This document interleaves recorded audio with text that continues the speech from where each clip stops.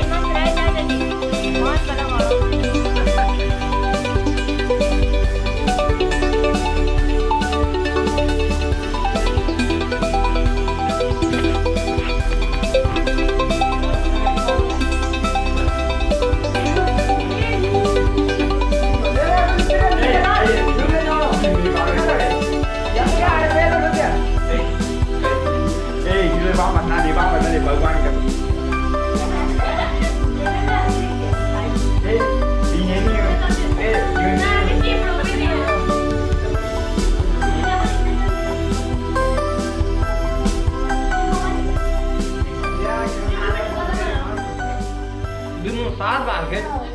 रे तुम्हारे को कभी